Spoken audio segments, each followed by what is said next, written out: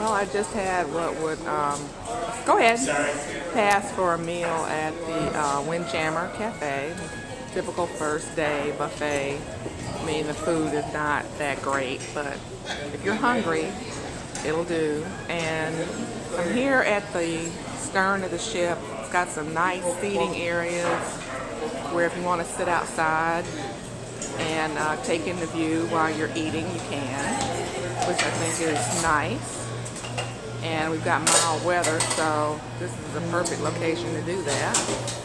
And they also have um, these beverage stations here where you can get your own coffee or whatever you want to drink.